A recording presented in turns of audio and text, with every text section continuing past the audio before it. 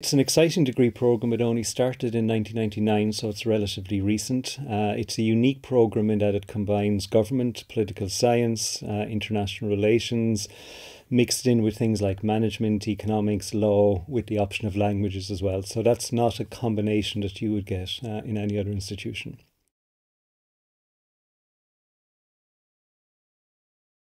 It's a four year program uh, where you accumulate 60 credits each year, which is the norm in UCC, with a third year work placement or internship, uh, which is a very uh, attractive part of the course.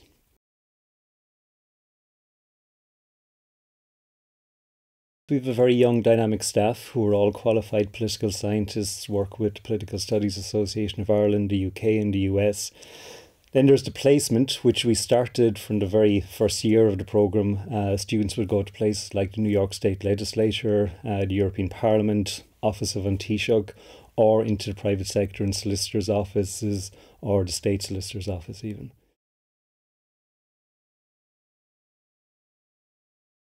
Probably students, first of all, who would have an interest in current affairs, uh, who would like to be leaders rather than followers in the sense that politics is about uh, the rules which govern our lives. So it's people who are active in that domain. Uh, they want to be involved in how those rules are made, in the sense that people cannot operate in their private lives or in the business world without a knowledge of how the public sector operates. Whether it's getting planning permission or a grant, they need some knowledge of how government operates. So it's people who are interested in their own lives uh, and in current affairs broadly.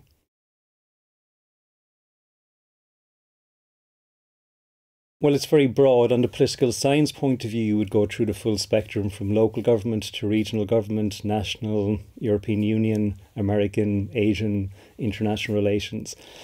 On the business side, then you would do management, marketing, economics, a bit of accounting as well along the way, which is an option. Uh, and you also have the option of doing languages. So it's a very broadly based course within the College of Business and Law.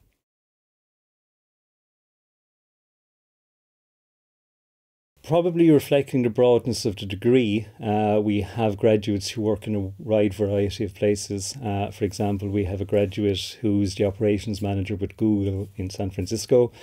We have people who work in financial services uh, in places like Deloitte and Touche. Uh, we have people who work in the New York State Legislature. Indeed, one graduate got employed there having been there as an intern uh, in third year people who work in the civil service. Uh, we've one guy who works in TMZ television in Hollywood. So it's it's what you make of the program really. It doesn't limit you to a public sector or civil service career.